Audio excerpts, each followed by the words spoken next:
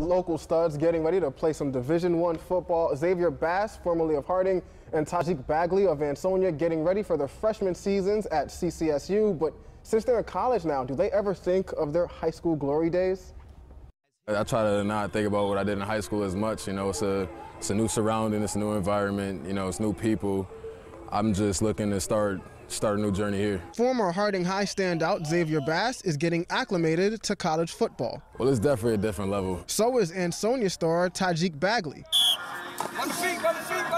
He says he's learning what it takes to be a college football player. You have to be mentally tough. Uh, coming in mentally tough, ready for anything when your number is called is, is big. Last year at Ansonia, he rushed for 2,083 yards with 31 touchdowns. This year, he'll be playing in the Blue Devils secondary.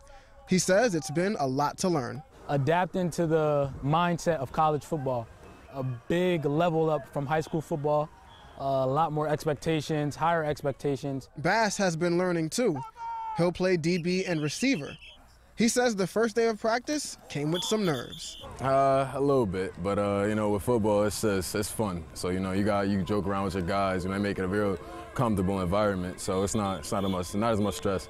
Bagley knows his pain. Definitely some nerves. I mean, obviously in a new environment, uh, it takes a while to get comfortable, but the coaches as well as the upperclassmen made me feel comfortable. Still, both are catching on, fitting in, and excited for the September 2nd opener against Lafayette. That's that's gonna be the best feeling ever. I think you know, stepping into a a D1 college on a D1 college field, you know, hearing the crowd. I don't think it's gonna be anything like high school, and I'm excited for it.